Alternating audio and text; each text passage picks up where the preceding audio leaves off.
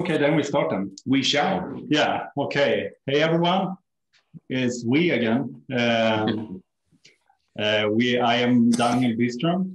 I'm sitting here together with Chris Doyle. Uh, and we are about to, to make another Our Future talk. This time we have landed in North Province of Rwanda.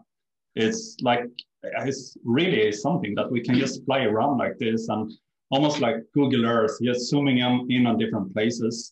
But not only that, we will actually zoom in that far. So we'll meet the people and actually get into the soul of the community. And uh, this is a very special occasion today. We will be on a on an Igitaramo, real Rwandan Igitaramo, a digital one. And uh, we will uh, walk us through this program together with Greg that we will present soon and uh, then we will um, get to know the, the local culture and have a really interesting uh, dialogue together with an invited panel for today. Will you say something? Excellent. Yes. and so uh, we have the good fortune to uh, be hosted by our local champion, Greg Bakunzi, whom I've known for a couple of years and his incredible work uh, in Rwanda. And one of the things over the last couple of years I've learned about Greg in his work, it's centered around societal development. Uh, all of the work that Red Rocks Rwanda and Red Rocks initiatives has been centered on has brought forward so many community matters. I mean, he's involved in agritourism projects, conservation research, livestock programs, agriculture programs, botanical gardens, biodegradable, new innovative new products, skills development, arts and culture programs. The list is plenty. And it's about a holistic view of, of bettering communities. And oh, by the way, tourism can benefit at the same time. And so I've been monitoring him personally for a long time. And when we started the uh, Our Future program, I was thinking, boy, we could all learn a great deal from Greg and his community member members. And so, Greg, thanks for being a mentor on community based tourism development. I'm going to hand it to you just now, and uh, you'll help warm us up here. So, off to you, Greg.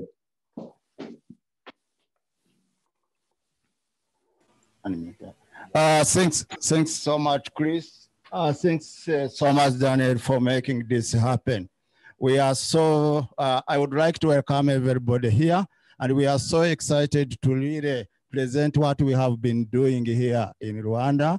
And I would like to mention that Gitaramo used, um, it's a, a, Rwandan name which was used by the local people. Uh, even the king himself would really join uh, to make the event, to enjoy the event where everyone can show the talents and what they, are, they know and what they can do in their daily life. So for this evening, we are happy to show the Gitaramo, and I have to say that Daniel and Chris, you are the king of this event. So let's get the event start um, by welcoming everybody so that you see how Gitaramo used to be. As you can see, we have got some local drums with different local instruments from drums. We have got some people who are doing the waving.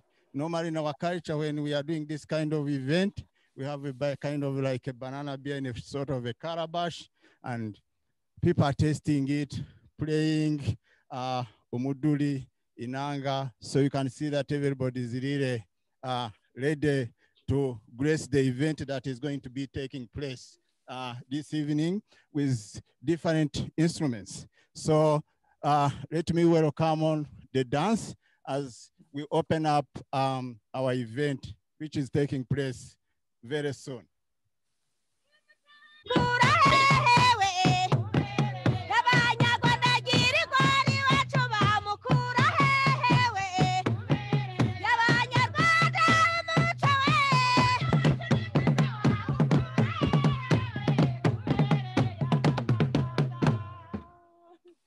So I would like to make a very quick introduction about the song they were singing. This song they were singing is in a Rwandan uh, culture, showing that where can you get this kind of the culture?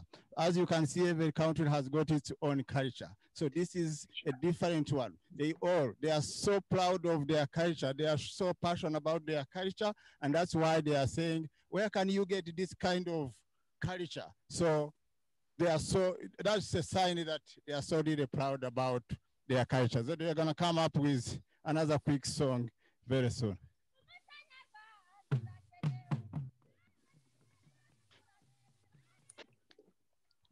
Uh, with a quick uh, introduction of the song that has been really going on, it's like this kind of culture is really needed and totally from uh, how they are benefiting from the tourism. It's this kind of culture that is really needed as every culture is, as I have said, that every culture is quite different. You go to Congo, you find a different culture.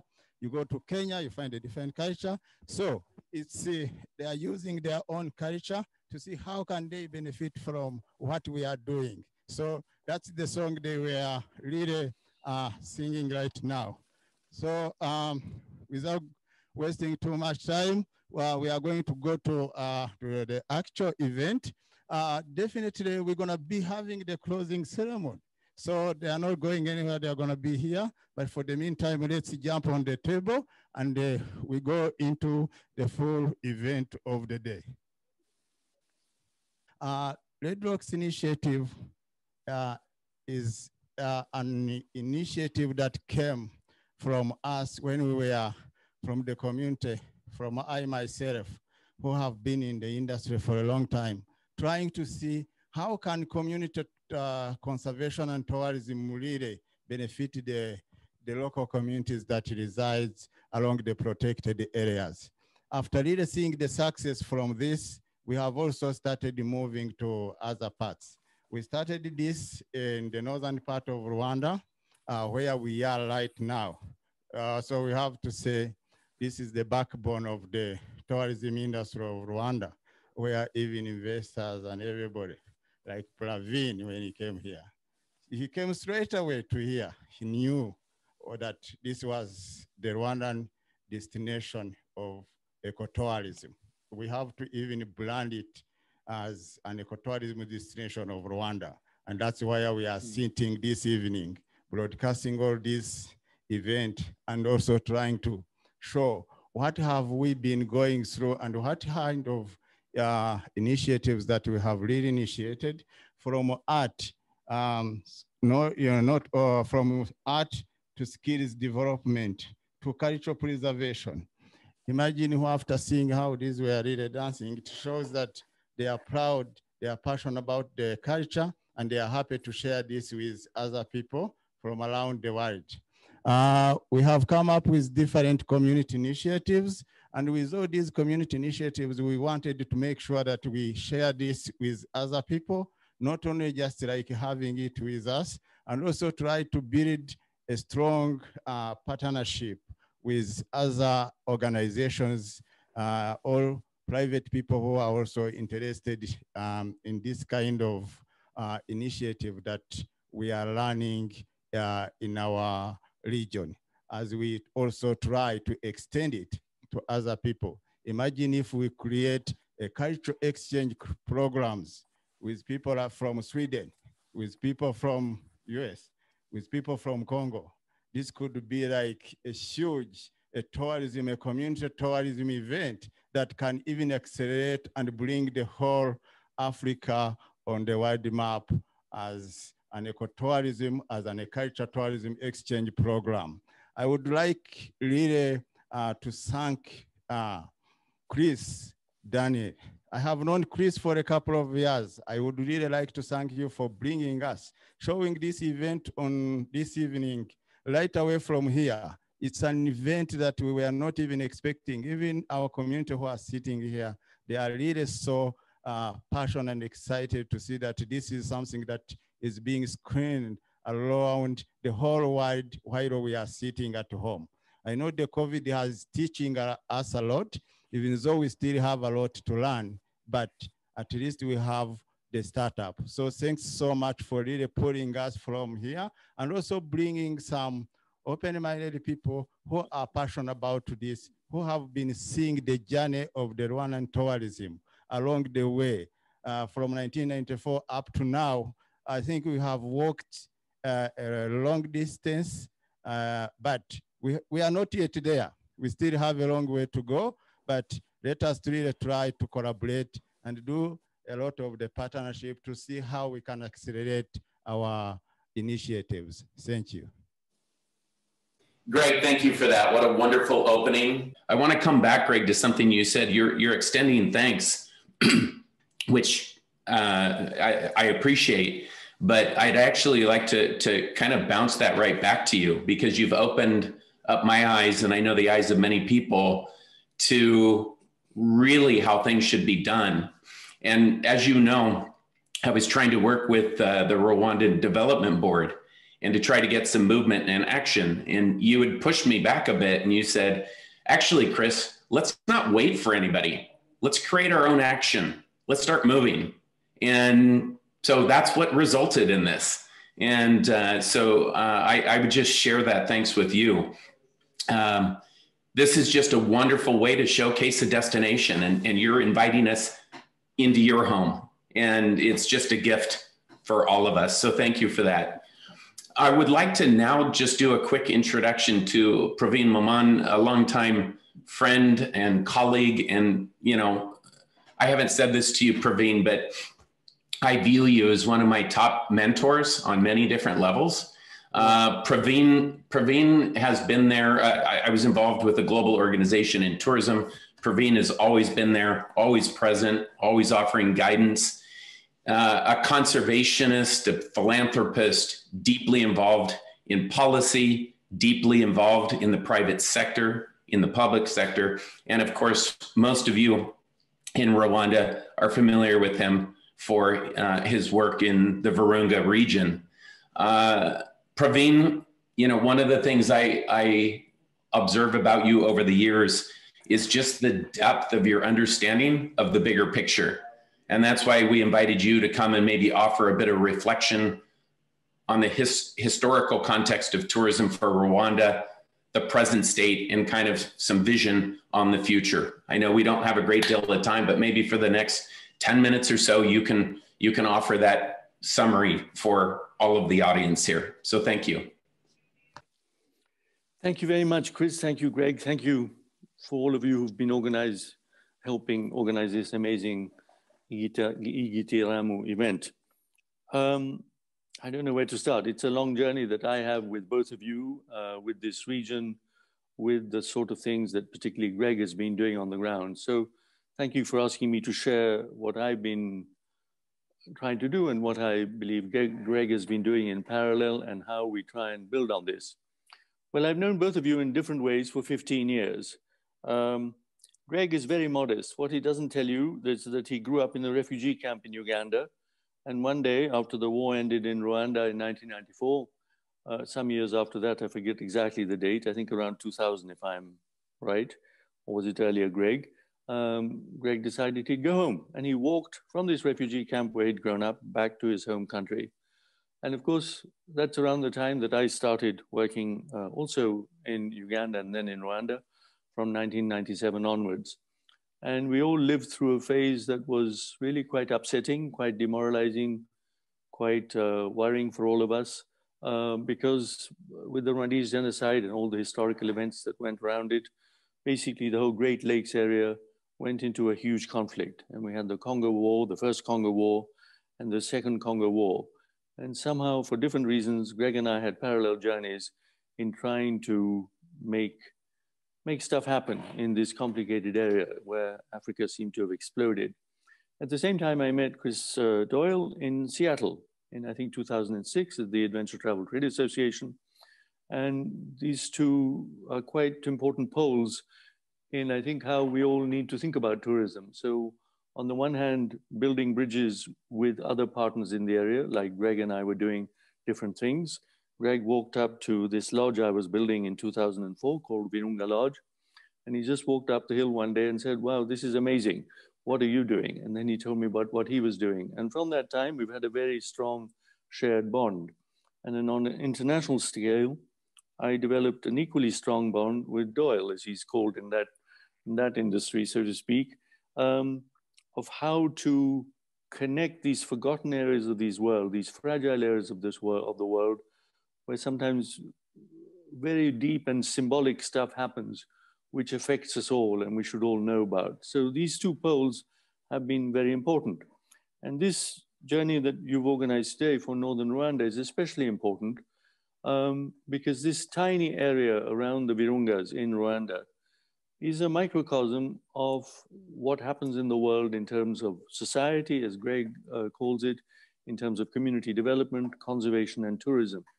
And it's a tiny part of the world, but it is one of the single most important parts of the world for tourism, for conservation, and communities. So the less inside the national park and around are valid for the world. And that is what is so exciting and interesting about it. Um, first of all, of course, it came out of conflict and that was an issue, but the gorillas were safe, the park functioned.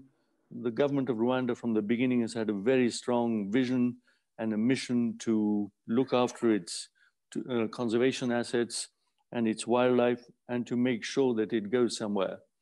And they have really changed the face of conservation and tourism in the 15 or so years that um, Greg and Chris and I know each other, and certainly in the 20 years that we have been in Rwanda. I myself actually are connected to the Virungas for even longer. Uh, I first went walking in the Virungas when I was 12 with my father in the 1960s, which tells you a bit too much about my age. But the, the link is particularly strong, both in terms of timing and what it taught me, because that's exactly the year that Dian Fossey was beginning to work in the region. And her whole love and work with the gorillas, as you know, has become a seminal work in the world on how to look after a very threatened species and how to protect it going forward. So these long connections have made me realize a number of things which I'd like to talk about. So in 1997, when Volcano Safaris was set up, I first set it up in Uganda and then moved across to Rwanda. And this was because of these early memories that I had in childhood of this very dramatic and special area. And as I said uh, at the beginning, it was very challenging because things were inevitably not working. We were still in a conflict period and things were really rather challenging, especially for the local people, many of whom had been refugees who were coming back home from the Congo back to Rwanda or back to Uganda. And it was quite a, a challenging moment and philosophical moment to ask oneself the question should one be thinking of setting up tourism when you saw vast amounts of humanity trying just to survive and trying to have enough to eat? Um, and at the time, it was very complex to think about this. And in the end, I thought, well, no, we should start uh, tourism because one day it will help uh, the redevelopment of this area and connect it to the world once the conflict was over. And I'm happy to say that over the last 20 years that we've been there, that in effect, we've been on the journey with the country of Rwanda, with its people, in this whole opening up, in this whole settling down. And it's been a very, very dramatic improvement from the times when both Greg and I, I think it's fair to say, when we went into the forests where the guerrillas were, we'd often have to run away because there were so many militias and so many odd people hanging around. To today, where Rwanda is one of the safest countries in the world, where the northern zone, northern area of Rwanda as I said before, is so, so important and so seminal for the development of tourism and how it links to society. Um, and the whole evolution of the conservation of the national park, of the development of high quality tourism, of the money it brings into the area. Um, having first started, as I said, in 2000, in 2004, I became the first person in effect in the world to build a lodge in Rwanda after the war, Virunga Lodge near uh, Parc National des Volcans. And somehow I just did it. I didn't kind of think through all the consequences, um, but it started working and clients started coming as the country stabilized. Um, and in these 15 years, the work of conservation organizations to help stabilize uh, the conservation aspects and develop them has been very strong. Government policy has been very impressive. The private sector whether just a, a person in Musanze town trying to borrow as many dollars he or she could to develop a small tourism facility, to now international companies that have come in to build very high class tourism um, establishments has been really impressive. And if you'd asked me if this was going to happen 20 years ago, I would have thought it was impossible and unthinkable. So the journey has been really great. And from those early years that when people like Greg and I had to, in effect, set up everything, you know, build up teams of people, find staff to train, because obviously many of the skilled staff had died or were no longer in the country, try and attract clients, try and put in an international supply chain, build a reputation, and somehow start an enterprise has been challenging. And we've all faced many journeys. But from the time in 2000, when basically there was one uh, functioning hotel in the town of Musanze, the Muhabura Hotel, to today a town that has maybe 50 enterprises of tourism and conservation and community uh, tourism around, I think is a very impressive journey. And I think each of us has also tried to do different things along that journey. At Virunga, for example, we have our own community projects, different to the ones Greg has done, but also remembering all the time that the people around us are not rich. They are not interested in gorillas for the sake of it. They are not tourists. They are doing their best to survive in a very difficult environment with $2 a day income in some cases. So our projects have in, some ways looked at things that they need, like sharing electricity with our neighbors, uh, helping safeguard a water source, rebuilding a local school. Um, our clients give sheep and water tanks to villagers.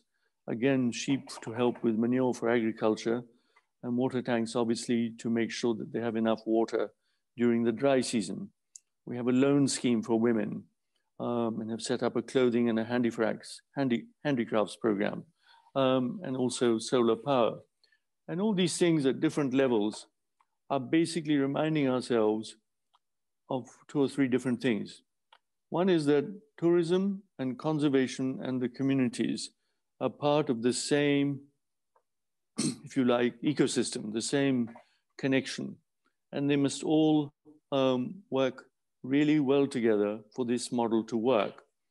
Because in my, in my view, gorillas would not have survived without tourism. It's only by monetizing them that that has really helped uh, safeguard their future, safeguard their habitat, and connect them to the world. At the same time, if you have too much tourism, that can also have a very negative impact on the gorillas. It can, of course, cause disease, which is especially important in today's world of COVID. It can overstress them. Um, but if you don't have this tourism link, why would local people want to preserve gorillas? um, they have too many other things to do, like survive. Um, they're not going to the forest to pay $1,500 to see a gorilla. These communities need land, they need crops, they need money. Um, so we need to make sure that the money that's coming from tourism, from conservation, is going in a big part to those communities. Uh, and that the Rwandese government, of course, has uh, different measures in place to make sure that there's a revenue sharing scheme of 10% from gorilla permits. There are other projects being put in place. And then it's up to all of us, whether conservation organizations or tourism organizations, to do our part. And then I think the model begins to work well. And then there's a lot to share, just like Greg is showing from his um, Red Rocks place today, that there's a whole spirit of hospitality and history and cultural values embedded in the Great Lakes, embedded in Rwanda. And this is something to, we share to, with the world and be proud of it. And that's something that I think guests also appreciate and learn a lot from. Um, just to wrap up some of the things that I was saying then to bring them together, there are three points that I think are important from my journey for the last 20 years. Having kind of started being the pioneers of ecotourism for gorillas and chimps, uh, this is what I've learned. One is that um, the link between conservation and communities and tourism is critical and making sure that that's optimized for the benefit of all three partners. Conservation has to be part of the economic mainstream. It has, in my opinion, to be, it has to pay. This might be controversial, but that's what I believe. Um, and that, the reason for that is that so that wilderness produces a return for the economy, for society, especially the poor people who live around the protected area of Parc National uh, des Volcans around northern Rwanda. This may be controversial, but I think it's essential that we look at this in an economic way. And in this, the, the private sector has an essential part to play in the connection between conservation and the economy. The second is that sensitive and controlled tourism is critical for great apes to survive. If you don't have tourism, I don't think they'll survive. If you have too much, they will also not survive. And that's especially true in the age of COVID, where the government of Rwanda and other regional governments have introduced specific protocols. So I would urge everybody who's considering going tracking, local people in the area, all of us as stakeholders, to make sure that we follow the protocols if we go anywhere near the gorilla park. We sanitize, we keep our distance, we don't go into the park if we are ill. And as stakeholders in this area, we must make sure that our guests follow this. The third is that the focus of conservation and tourism has to be the communities, exactly in the sort of way that Greg's project has been doing for, year, for, for years, and we in Parallel and other companies do. And that is, I think, critical because ultimately it's, it's, the, it's, it's what will keep all three things in balance. And really, as part of this story, we must make sure that people are treated with respect so that they become the guardians of the ecosystem and the wildernesses of the world. And rather than marginalizing them or ignoring them, they must become the front line for this. This is especially true in the 21st century. Africa is the fastest urbanizing continent, as we know, um, and Rwanda particularly is a representation of that post the civil war, where the number of people, the population is, incre is increasing dramatically, where their consumption patterns are increasing as well. And they are part of this huge wave sweeping Africa, where more and more cities are being created. And in the next 20 years, we'll have 20 new cities of 20 million people each. But it's not only about cities, it's people living in rural areas who are also living in an urban way with urban demands of urban patterns of consumption. So specifically for Northern Rwanda, I would say this, that as we've heard from Greg right at the beginning, it's central to Rwandese tourism. And as I try to say, it's central as a model area for the whole world um, the Rwandese gorilla park and the Ugandan and Congolese uh, gorilla parks together with Bwindi are 700 square kilometers. It's a tiny part um, of the world. If you put that in context, Serengeti in Tanzania is 30,000 square kilometers, and Yellowstone in America is 70,000 square kilometers. So the pressure inside the park with the gorillas who, that live there, a thousand gorillas in all the, the four parks that exist in this tiny habitat are already big. So protocols are very important, as I said, to make sure the gorillas survive. But equally outside the park, in the Musanze Valley, in and around Musanze in northern Rwanda, we need to make sure that the population around is separated from the gorillas, from the habitat, that there is a buffer zone, which exists, of course, that is protected, I know the government of Rwanda is looking at potentially increasing that buffer zone and potentially increasing the size of the park so that there is a greater habitat for the gorillas. And at the same time, we need to control the amount of tourists that visit the park as is done today. It's about 120 people that can go in. We need to limit the amount of tourism development around the national park and also human development and also make sure the sanitation the hygiene and contact of people with gorillas is limited. So I think I'd sum up and say that I hope this has um, been helpful to look at the wider context and the history of what's happened in this area. And I hope with the great vision of the government and all of our stakeholders working together, the benefits of this area and its future will be even better rather than become more threatened. Thank you very much. Praveen, thank you for that super articulate overview. Um, and, and just a thanks, just from a human perspective, to the work that you and Greg have been doing uh, on behalf of Rwanda, but it's more than that. It's it's like a project for humanity that, you know, that's why we're focusing the lens here now on it.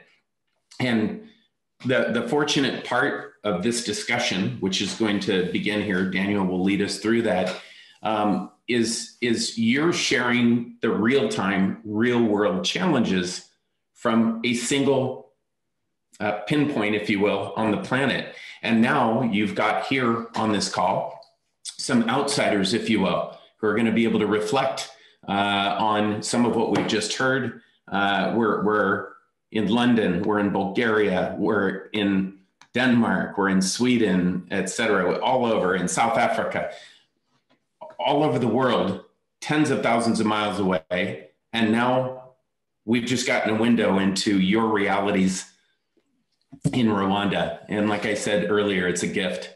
So, Daniel, for the dialogue portion of this, how about you describe what it is we're doing, how we're going to do it, and yeah. Hey, everyone again. I mean, this uh, this uh, experience with uh, Igitaramo is so fantastic. Uh, so, uh, welcome everyone to this broadcast. Uh, again, my name is Daniel Byström. And uh, I want each of you that is on the panel here now also to be presenting yourself. And I will give each and every one just 30 seconds. Um, yeah, will you start? Sure. Uh, Chris Doyle. Uh, I'm up here in Sweden with Daniel right now. And uh, in my background and history in tourism and everything I've done, I've often been referred to as the dreamer because I just don't really ever see limits on the potential of humans. So I focus on the stuff that yeah. people say can't be done, but I always think it can be done. That's me. And now in, in this uh, broadcast, we have different titles, and he's the dreamer of the team here. Um, I would go further, and, and since Bård uh, that was supposed to be with us here today, he cannot be the grandfather, but uh, luckily enough, we have another grandfather in the show that you have heard already. Praveen, can you just tell a little bit about yourself? I haven't quite made it to being a grandfather, but I've made it to being a very old man. So maybe one day a, a, grandfather as well. Um, well, I think you, I hope people have heard me speak. My name is Praveen Moman. I'm founder of Volcano Safaris. We've been working in the region of the gorillas and the chimps since 1997 and in Rwanda since 2000. And I suppose I'm a bit like Chris. I'm also a dreamer, um, but I also try and temper that with trying to make things happen in a real and a practical and a sustainable way. Hmm. Thanks. Excellent. Then over to, to Paka. Good afternoon, everybody. My name is Phakamile Hlazo. I go by Paka and I'm the founder of Zulu Nomad. I'm based in South Africa. Zulu Nomad, our core purpose is to be an enabler of tourism capacity and enterprise development at scale on the African continent. My role within the team is that of change architect. And I think, you know, there's so much really great work that has been done um, in Rwanda, as we can see today, but on the African continent in general, as far as tourism over the years. Um, but again, there's just so much potential to do so much more. Um, and so mine is to, to challenge where we are and to really see what can be done to take us to the next level. Excellent. Thanks. Then over to, to, to the other side of the bridge here, uh, where we meet Signe, the, the, the nerd. Indeed, thank you. Hello, everyone. I'm Signe Jungersted. I'm uh, based here in Copenhagen. I'm the co-founder of Group Now, an innovation and strategic um, strategy agency coming out of, of Denmark, but working pretty much uh, all over um, with uh, tourism and destinations at its core. And uh, I am the destination nerd, and, and in many ways, it's a comment to the fact that I think we should be talking less about destinations and more about communities. I have a background as well in uh, Wonderful Copenhagen, so the DMO, the Destination Management Marketing Organization of uh, Copenhagen. So I do have a passion for destinations, um, but the real passion is how do we make tourism a positive resource to local communities and um, bigger, uh, bigger and more uh, agendas. Or yeah, sorry. sorry. Good stuff. And um, who's next? Uh, Milena, should we start with Milena? Yes, absolutely. Uh, hi, everybody. My name is Milena. Uh, on this team, I wear the shoes of the creative driver. Uh, and my passion is um, in imagining unconventional and smart solutions that are based on what we know about human behavior and human psychology. Uh, and of course, I'm interested in solutions that not only help make tourism better for the people, businesses, and places, uh, but also make it a force for the betterment of our society and humanities at large. Thank you. Excellent. And also, Kristín, the nature lover and the technical genius. now, probably, and I hope that you will just you know get rid of me from the technical part. no, no, no. Wait, so, sorry, you cannot get away so easy.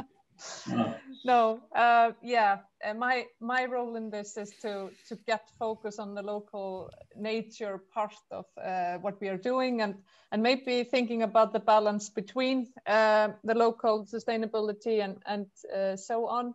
Uh, I work with Iceland tourism, but Iceland tourism is no different from other tourism in in the world. We are we are focusing on getting people to enjoy and, and be travelers uh, and you know connect to the local communities and the culture of the of the country.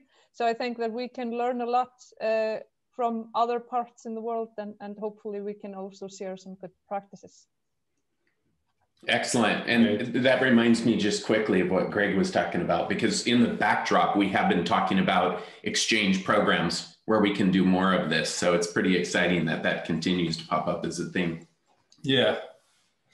Uh, yes, briefly, since you talked about Greg, I think it would be nice if you, Greg, again, just uh, just tell everyone again who you are, but only like 30 seconds. How would you pitch yourself in 30 seconds? Who are you? Uh, thanks very much. Uh, thanks, Praveen. Thanks, Chris. Uh, I really liked, first of all, uh, I'm the dream as well, because I went into this tourism back in 2000 as Praveen was coming in. And I started with the co-founder of Amahoro Tours, and I started coming up with lots of initiatives and ideas when I was on my way going on, I started coming up with all these ideas. And I was looking up to see where can I find the box where I can be putting all these ideas. So that's when I ended up coming up with Red Rocks Initiative as a non-profit organization. So where I'm just throwing all my ideas and see who is going to pick A and B so that we can just work it out and see how it works. And I have also to make a quick comment on uh, Praveen. We jumped in Congo as, uh, Congo as dreamers. So we were all starting business there. And then things started really turning up to be not that good. So one day I met Praveen and Praveen said, hey, Greg, how are things up there? I said, man, things are up and down. I said, it's Congo. He was like, how was business there? I said, no. Then one day he told me, hey, Greg, I'm putting up a red line. So I'm not going to go to Congo anymore. Then I said, you know what, Praveen, I'm not leaving Congo anymore. I'm going to stay there forever. So we have been really going through this together. Thanks, Praveen. Thanks, Chris, for this. so good. Uh, I love this. And yeah, finally, if I just say who I am in, in that term, in this in this gang, I am referred to as the fearless. And uh, I don't know what to say about that. Fearless in, in a good way, I would say that I, I am a designer I like to experiment. I like to try new things. I think that is really important that no one actually know the best. Find out the good answer. We just need to be prototyping. We need to try new methods. We need to say yes to new adventures, as I say, behind Paka. Yeah, cool.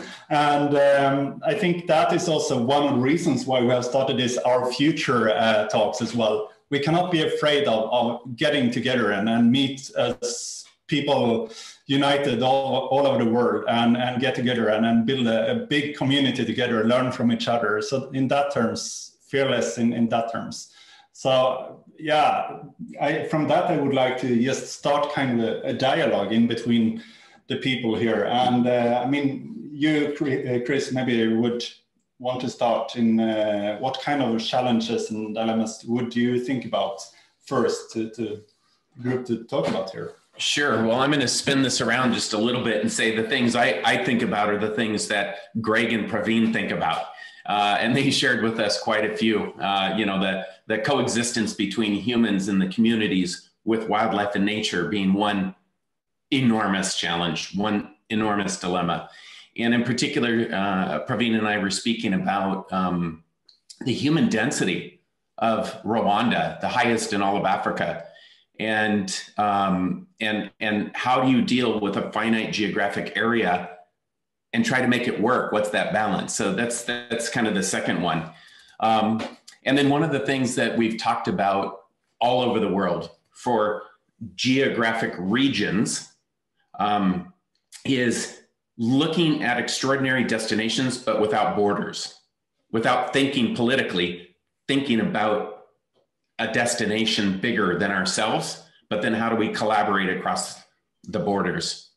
Then the fourth thing, which is more about you know, the video is just incredible that we're looking at right now. Uh, the, the, the fourth key thing that we've been thinking about um, is really what Greg has manifested with Red Rocks Initiative, which is resilience by design, making a resilient community. So these are four kind of areas that we've been thinking about in context to this talk. Uh, maybe uh, Greg, Praveen, if there's one in particular you would suggest we begin with, we'll defer to you, and then we'll have the the uh, other panelists start to comment on some of these things or some of the the dilemmas you you pose. So, Greg or Praveen, is there anyone that particularly strikes your fancy to kick off the dialogue? Uh, are you going to go with this, or I can just come up with something? Why didn't you come we... up with something, Greg? What what what bothers you most? What did you what oh, do you feel will be one of our biggest challenges? Uh, I think uh, our biggest challenge now is we are all coming up with uh, all these ideas and uh, vision. So what I'm really looking up is how can we collaborate with us? How can we build this collaboration between uh, people who are more interested in this. And uh, from the point you also mentioned, how can we encourage uh, our clients, like the way how they come in, they build the schools, they give out like books and everything. How can we carry, how can we build this kind of uh, collaboration between uh, our clients and us to have like regular workshops so that we can address the the conservation, the tourism, and the community development to the guests that are visiting us? That's a great question. Yeah. I mean, I, who would like to start? I don't want to be the one that is uh, talking all the time. I think uh, it would be nice to hear it. Maybe, Milena, I would like you to start. Oh boy. Why me? because you were so uh, you were so into it. That's why and behavior. yeah, behavior, exactly. Uh, you know, um, okay, so I'll take a, a, a behavioral uh, spin uh, and I'll start with, with the framing that I find myself frequently using when we discuss um, how can we make radical transitions to new ways of doing tourism, which is now frequently uh, uh, placed on the table as an issue, but we we wonder how to do that. And and one of the the maybe the benefits of the situation that we are in of this crisis um, is that while of course it has brought a lot of suffering and and a lot of difficulties for all of us on very human on business and societal level it has changed our minds and have prepared has prepared our minds for radical change of models. So some of the things that we have talked about in sustainable tourism um, about the, when it comes to the interaction between a traveler and a local community, the interaction between conservation and business, which Pradeep mentioned earlier. Uh, we have been dancing around these issues, but we knew that Eh, the system was working as it was and it was very very difficult to make radical changes which we all knew were needed. Now because of this disruption there seems to be a readiness to accept the fact that there's space for great innovation and for radical shifts. So i think that some of these com complex issues which we knew were difficult to change just a year ago I think now we have an opportunity to lit literally sit at the uh, at the white piece of paper, design them, shape them into what we really think they should be, and try to proactively push them now in this space where things are not brought back together. So to me, that's the big, uh, a long way of saying that um, the really great uh, behavioral uh, benefit of what we're seeing now is that actually there is an opportunity to do some of these things which we haven't been able to in the last um, years.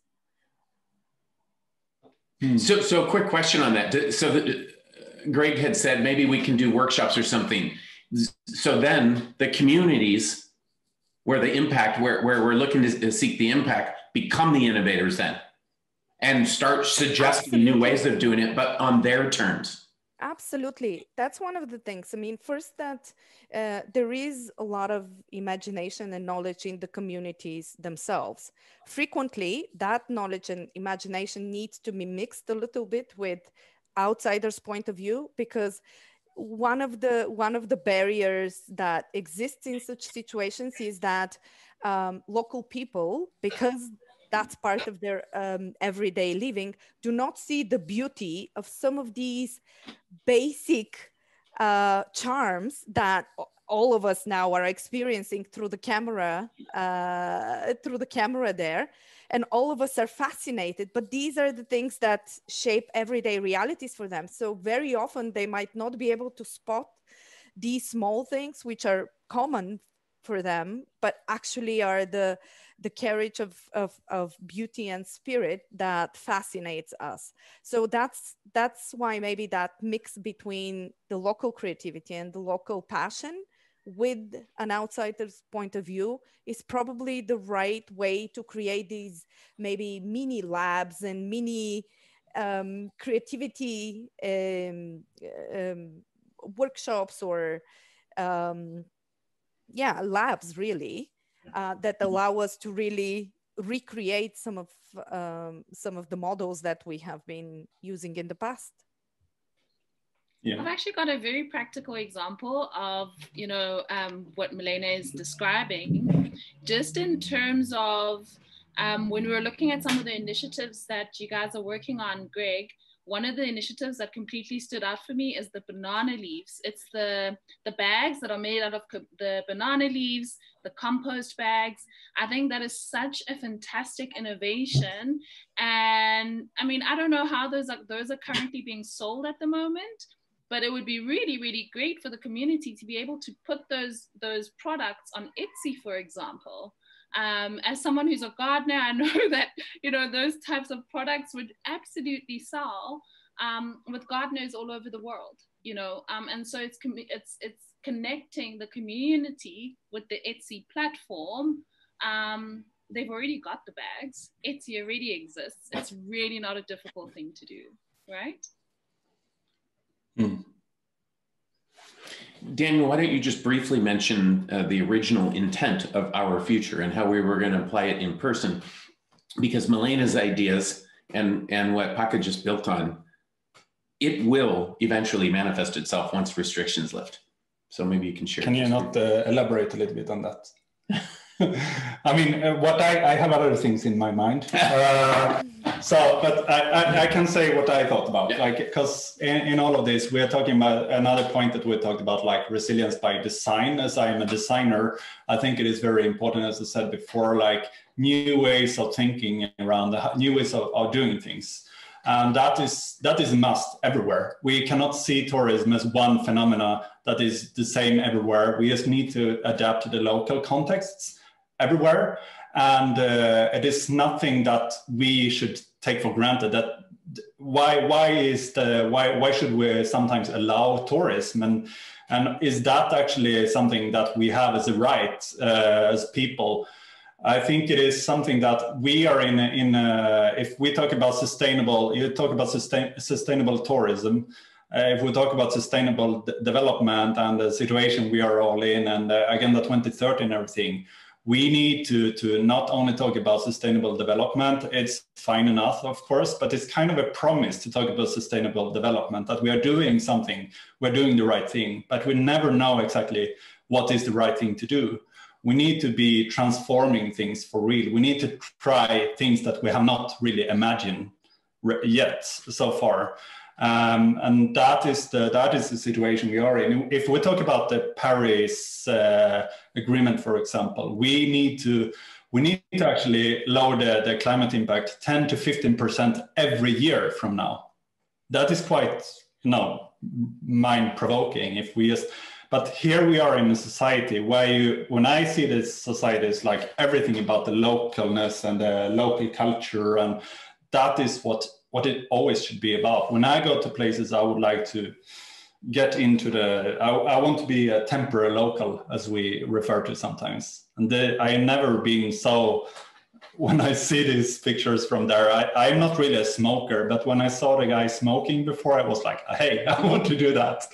so we need to get the storytelling out there. We need to tell the stories, the real stories. And this is one part of that, just making this kind of like diving into to, to places like this. Now you can elaborate on what you want. I was just going to say, Greg, your, your idea to have workshops, as you know, one of the key things is that doing this in person on the ground with the community and co-creating and co-divine, uh, you know, uh, to, to Milena's point, you know, co-creating and defining visions. That's how it's going to ultimately happen. This is our interim solution. It's to get the dialogue started and to show and to, uh, to show the rest that we're ready to share the spirit of generosity. And I loved your comment, Milena, about the carriage of beauty and spirit. I'm gonna I'm gonna borrow that with your permission. I hope. So I've actually got a Absolutely. question for for Asta, right? So you mentioned obviously you're in Iceland, you're working with the Iceland Tourism Board. Um, you know, one of the gaps currently, one of the very big gaps as far as African tourism currently is concerned, is our lack of focus on domestic tourism and regional tourism over the years. So, Rwanda is a small country, Iceland is a small country. How would you advise the guys to piggyback off of domestic and regional travelers?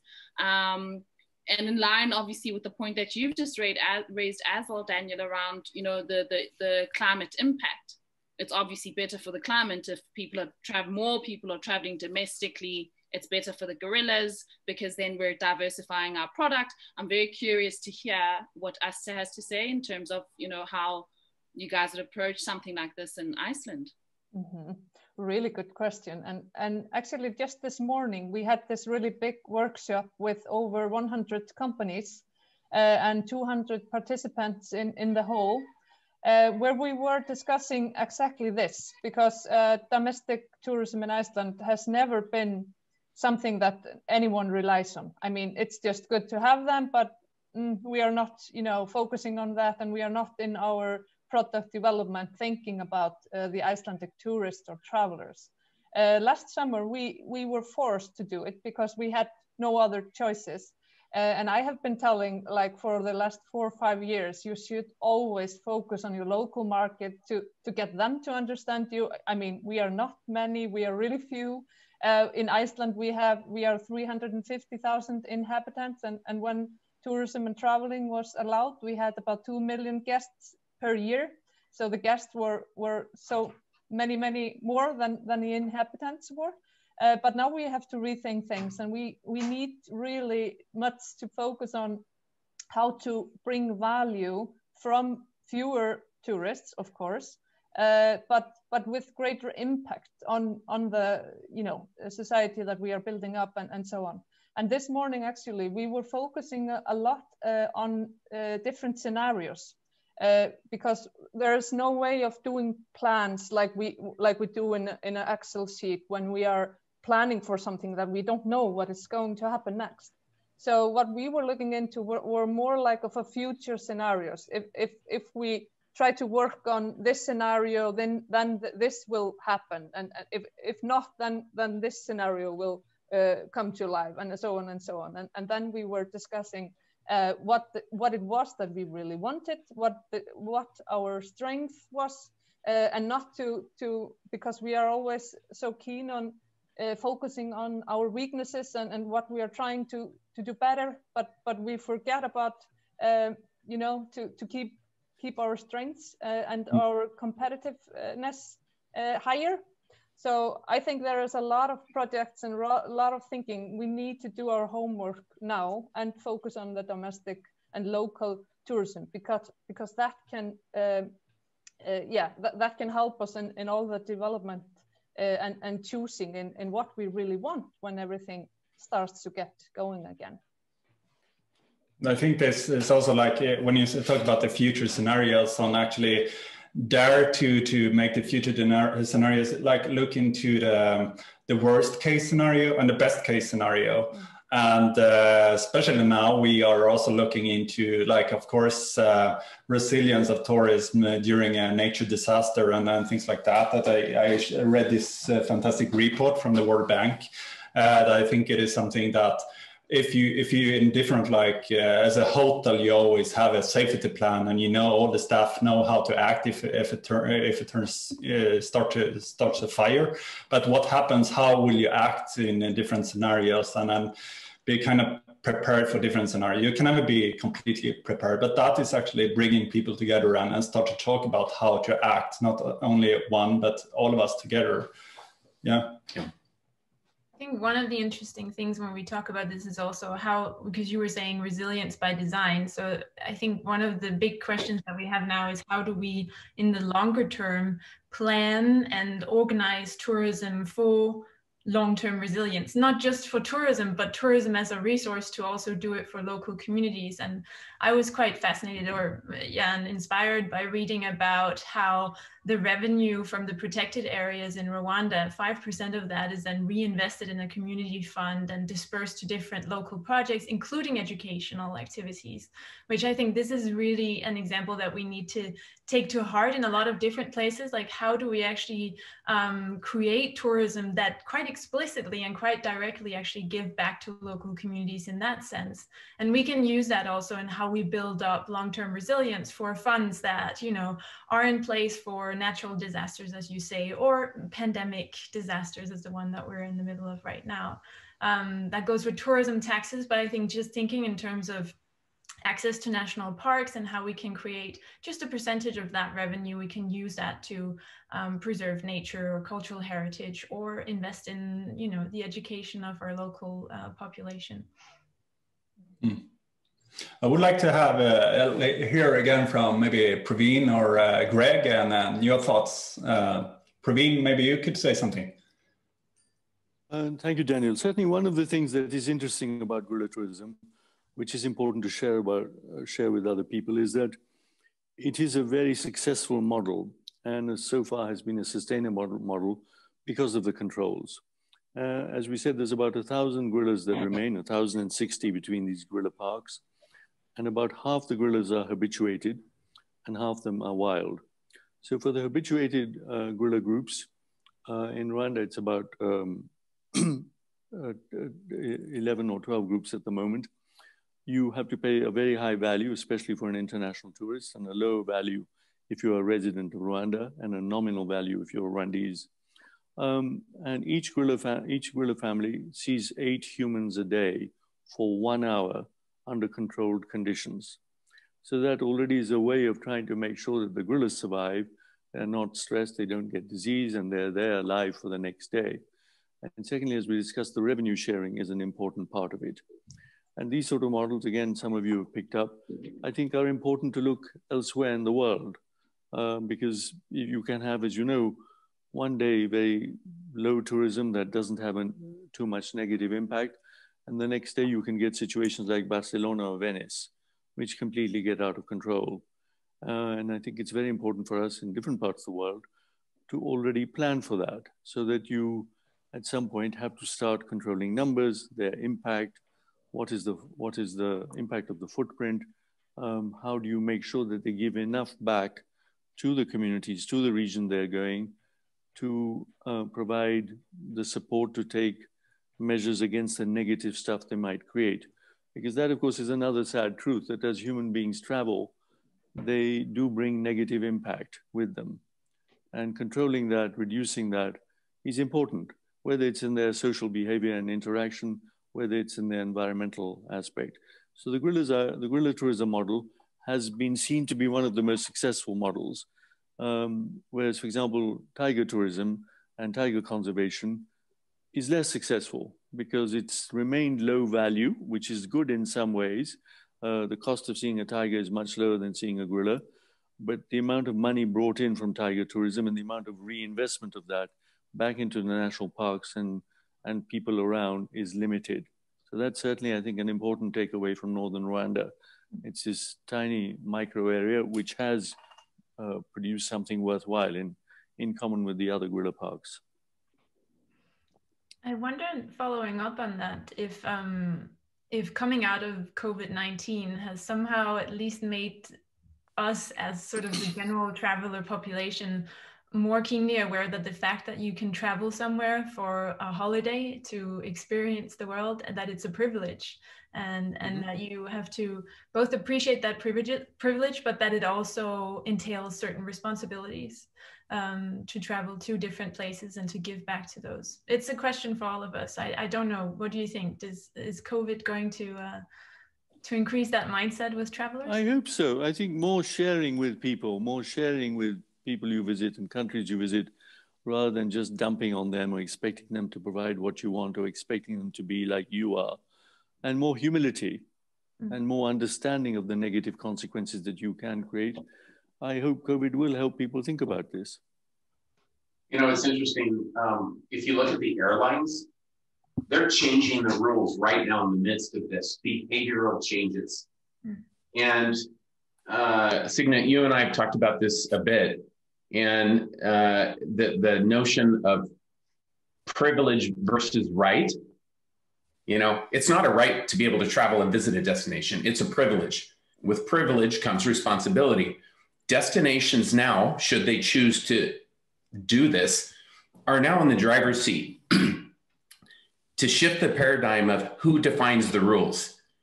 If you're coming into my house, I'm going to kindly, diplomatically suggest that you take your shoes off at the door. This is a behavioral thing, right? I had to learn it when I came to Sweden. In America, I never did that. I just walked into the house with my shoes on. I learned it because I was a guest here in Sweden. Destinations can now do the same. They can now change the rules. They have permission because of a global pandemic, a crisis. So if you had the chance, Rwanda, to change the rules, what rules might be changed? Could we change the thinking into more of a regenerative future? If you visit Rwanda, there's going to be some specific contributions you as a guest need to make when you come here. Just an idea. Hmm. Hi, uh, while you were talking, uh, I was actually uh, following the, the Facebook uh, live broadcast and I said to our audience if they have any questions. So we have two questions here. Uh, one of them is I, I like this kind of question. It's like, do you believe virtual reality tourism and online tourism will be growing? I mean, this is a way kind of an online tourism that we are doing right now. We are kind of in Rwanda. Of course, we want to to taste and experience and uh, feel with all all, all senses. Um, I'm not sure how to to answer that. Uh, maybe um, who, maybe Signe, you you used to have. Clever thoughts on this.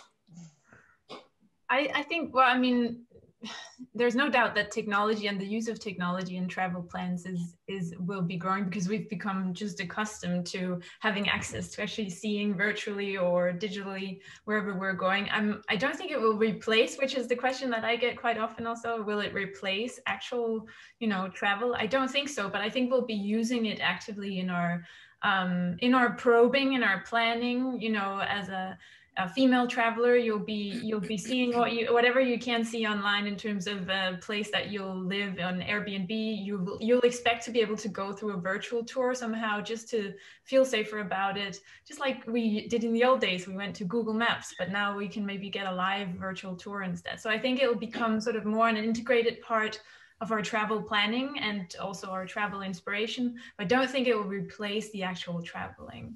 I don't know if you have any other plans. Maybe I, I think I think it actually also come to another. It's another question here as well. How coronavirus affected uh, future plans for tourism. I think that is maybe a little bit going hand in hand here because, as I say, uh, I think we are so much more connected today, and you expect more to to plan more. Uh, you expect to, to, see more. Sometimes you could even go into a 3D model of the hotel room when where you will stay, and that is something maybe not the standard today, but maybe that will become a standard. I know how we can actually prepare uh, people to act in a responsible way. Um, things like that that we actually can use it in a good way as well. Uh, I was showing you before today another project that I, we are working with uh, augmented reality to get people into uh, be, be joining um, urban planning processes, for example, how you could get people uh, to, to come up with their own ideas on this is how we would like to develop our streets, our cities and such. I mean, there are a lot of promises in there, of course. Um, yeah. Yeah. I mean, I, I think I think as far as as African tourism, African communities, African people are concerned, like VR as a technology is is very advanced. yeah. there's there's so many um, other avenues. There's different platforms. There's different tools um, that are readily available now, that are relatively inaccessible, that are relatively inexpensive, um, that we need to start fusing into our tourism products and offerings and our community products and offerings. Um, the crafts that you guys have there, Greg, are really, really beautiful. They need to be online. You guys need to be um, shipping those um, all over the continent, all over the world. Um, the gentleman who was smoking just now, I think he would do so great with a YouTube channel where he just, you know, teaches us what um, what goes into his pipe, um, teaches us what is in that little thing that he was drinking. Just not very curious to know what that was. Um, but but really, I think the question around VR is a great one. Um, but in the African context, I think a lot of the time african people feel that, that we're out of touch a little bit with technology. You have to have all these skills. You have to have all this money. But i, I want to encourage community members. I want to encourage tour op- operators on the continent. I want to encourage the tourism industry on the continent to look at the, the low-lying fruit as far as technology and digital innovations are concerned because there really really is a lot now that we can leverage off of um, to grow our communities, to earn income, to augment our tourism income. Right now, obviously, we're not, we don't have international travelers. Um, so there really is great opportunity there. Yeah, I mean, um, I got another, just before I will let uh, Greg in here again. Um, I think it is like, it's interesting. I got one, one uh, from, from David here. I think the other key impact of COVID is that it has caused DMOs to reassess their role and function and their accountability to their local citizens. And this is a good thing. And I couldn't agree more. And that is something that we will see here uh, again. I mean, we are talking about what is the drivers for tourism, and we want the tourism to be, be a tool for benefiting the local life. And we also want uh, local pre uh, preservation of local traditions and, uh, and the culture and the nature. And to celebrate that, I would like to, to get Greg in here again and, and actually experience the amazing cultural assets you have in, in, in Rwanda. It is just mind blowing. And by saying that, also, Ásta, can you put that on, on, on big screen so we'll see more from that? Mm-hmm. Of course. Thanks very much, Chris. Thanks very much, everybody that is listening to us uh, as we wrap up right now uh, even before we do the closing up, uh, we would like to have like a very quick traditional dance. And I have like, you know, what Nomad really. Thanks for encouraging us and thanks for getting really interested in what we are doing. This is an interesting Igitaramo event that has really been going on and we have been waiting for this for a long time. So we can't wait to see this happening again in any country around the world. So we are just looking forward and we are getting on on the we are getting on on uh, on the floor to get our dance going on as we wrap up and we will finally have like the, the last five minutes to have like a closing word from uh, Chris, Greg, and Daniel as we wrap up. So let's have the dance going on.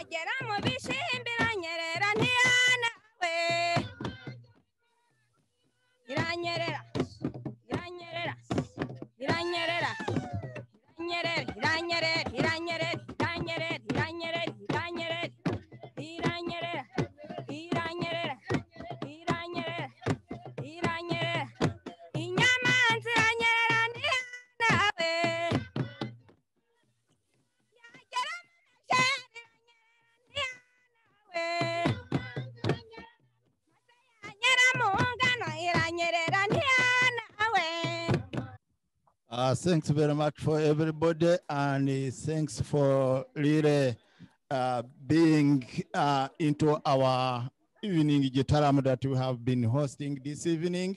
Uh, I would like to really uh, wrap up with our dancing before I hand over the microphone to uh, Chris and Daniel, who are going to say the last word about this. Uh, I would like to call upon uh, all the wishes. It says we, in our uh, organization, we have uh, a slogan which says, great visions needs great partners. So we would really like to call upon anyone who would like really to partner with us, link up with us, and see how we can get um, our vision really growing up, even up to South Africa, Botswana, Zimbabwe, and uh, other countries. Thanks, Chris. And uh, I hand over the mic on to Chris and uh, Daniel uh, to close up the event. Thank you. Great, thank you so much. And, and on behalf of all of us, uh, I hope that you'll extend our thanks to all of the community members there who went out of the way to give us a little love and light in the middle of this dark period the globe's in right now. It was just incredible. Got goosebumps. I wanted to be there dancing. It was just super. So, you know, clearly, you know, 90 minutes is insufficient to do a deep dive into the real dialogue and you know questions about the dilemmas and such. So we want to make sure that uh, in this process, which we view as kind of the beginning, that we try to collect from the community, uh, from Praveen, from you, and all of the community members with whom you work. We want to hear the questions, the ideas, the challenges, ideas for partnering and collaborating. And if you can help help us collect those and share those with this team, we'll come back and just continue to offer thoughts and reflections based on what we're hearing and seeing. So Daniel. Yeah, I mean, uh, for me, this has been, uh, we are approaching exactly what we want to do with our future. This, uh, and you have helped us doing that. Thank you for that, Greg. This has been so amazing, and I cannot wait doing it there again together with you on the ground, dancing and, and learning everything about your culture and the instruments and, and all of that. We will, uh, as I said before, we will post all of this material. I, I think this ha this has been just setting a, a, great standard that we can continue with. And just to, to say, the next phase, uh, we I think we will might uh, land in, in Greece next time. We're going to Greece next, Greece. so we'll uh, we'll be able to soon share the specific destination. But yeah, the the idea is just to continue to pop in like Google Earth, hear from the community, learn, share, reciprocate in terms of ideas. And like you just said, Greg, and it was a great summary, you know, how, how do we do partnerships and stuff? Great work, tech team. Yeah. Woo, woo. Great stuff. But but extending partnerships, you know, if if we're offering that up back and forth, then we're going to grow and we can move to that regenerative future we all seek. Um, any final thoughts from our from Praveen, from from Greg, and our panelists? No, just to say thank you. I think it's a great initiative, and I think it's very important we do share new ideas, as a number of the panelists have said, in this post-COVID age, to try and rebalance the world and do our bit in doing that, not just wait for other people to do that. How can each of us, as private sector people, as nonprofit people like Greg, as uh, thought leaders, as clients, how do we how do we make sure that we are more humble in our approach in the world and and more sensitive about all that we do? Absolutely. Yeah, couldn't agree more. I would also like uh, to, to reach out to, to everyone that are watching here live and also everyone that will watch this later on that this our future concept you're welcome to to contact us. And if you would like to do the, the similar thing and join this great community because that is actually what we are doing. We are creating a community uh, it is kind of we are creating a community between communities. Like we started in iceland now we are adding uh, Rwanda to it. We are adding Greece. We are adding, you know, together we are united uh, globally. And I think it is so important to have this kind of open source, uh, kind of like learning platforms, because we are never, never fully learned. I heard uh, this quote that there are no omniscient experts, but uh, what we need is um, curious specialists I think that is that is something we need to, and, and we need to be more um, involving in in the processes and work as a collective uh, with efforts. Exactly what you are doing there, Greg. So I I really admire what you're doing there. It is fantastic to see. And maybe Pack uh, Asta and, and you say something. Yeah, I, I will just agree with what you're saying. This has been really, you know, a learning curve to, to participate and learn what the issues are over there. Although we are really, you know, not alike, we are alike. So, so that is a really good takeaway from this. Our issues are uh, in a similar way. So, thanks. I also want, sorry, I also want to say that it's extremely inspiring um, to to learn and, and to hear what has been happening um, in this community. And I think that the power of what we're doing now actually lies in connecting with each other to inspire each other to think bold because we have a window of opportunity to do that. And physically we are isolated in different parts of the world but on a human level we are connected. And through our joint creativity with our joint inspiration that we share i think we can inspire each other to really take um, that proactive and bold stance and at setting new norms of behavior um, where destinations and local businesses are bolder in setting the rules, as Chris pointed out, and travelers are humble and more respectful when they visit um, these places. So I hope that uh, this is the inspiration that uh, is one of the outputs of what we're doing here. No, an absolutely an inspirational um, session and, and really view into communities on the ground in Rwanda. It, it really is truly special, especially in this climate that we're in.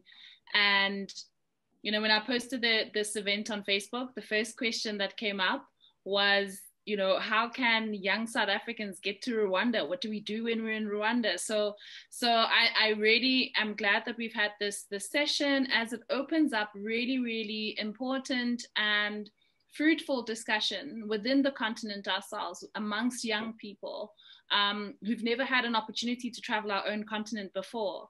Um, and so it, it is a very, very dynamic and very interesting time. And thank you so much, Greg, and the community members um, for hosting us today. We've learned so much. Love the instruments, love the drums. It was really, really great. I really wish we could have done this in person. um, thank you, everyone. Great stuff. Signe, any any last thoughts? Uh, it's difficult to add something clever after so many clever people. Uh, so, no, but thank you so much for inviting us into your work, Greg. And I, I think it's uh, it's very inspiring. And uh, and I also think that it's important to have these discussions, both in terms of the um, as you're saying, Paka, the the the, Paka, the awareness of travelers in terms of our roles and responsibilities when we travel, but also the new roles of destinations and how we plan and structure uh, tourism um, to better contribute really to local communities. So important discussions to be had. Excellent.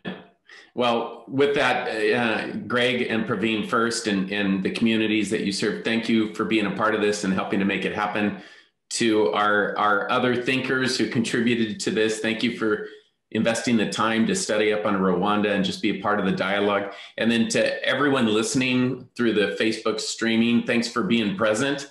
And to the degree that you feel comfortable doing so, we highly encourage you to share, share the program, talk about it, continue to provide feedback, send us questions, uh, and we'll just continue down this path. So with that. Yeah, with that, I think we will Thanks, start Daniel. up our, yeah, we will continue the, uh, the Igitaramo here from Malmö yeah. uh, and, uh, and join you for that. And I think uh, the Igitaramo will just go on all over the world for everyone that has been listening here now, right? Thank you very much. Thank you. All right. Thanks. Thanks to everyone. Thank you. Bye.